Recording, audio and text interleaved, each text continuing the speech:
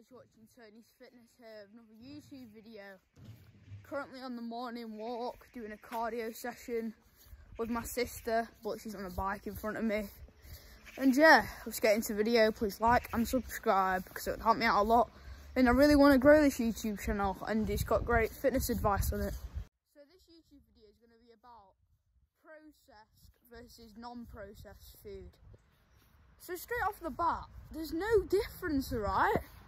All food, every, all food is processed in some way or another. So if you buy packaged chicken from the butchers, it's been processed. You know, people have gone and have touched that chicken. And then let's say you buy packaged turkey breast from like the supermarket.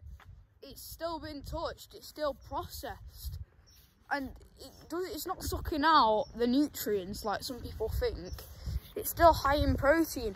As long as you get the protein it doesn't matter. It's still low calorie food so it doesn't matter whether it's been touched or what packaging it it's in. It really doesn't matter. So whether you're getting i don't know 50 grams of protein from whey protein chocolate chip the powder or you're getting it from chicken breast yeah, there will be some differences in nutrients, but really, if you added it all up to the same calories and nutri in like in like protein, it's the same thing really. But obviously, chicken may be better for you if you get what I mean. So basically, yeah, all food's processed. It doesn't matter. At the end of the day, it's calories in, calories out.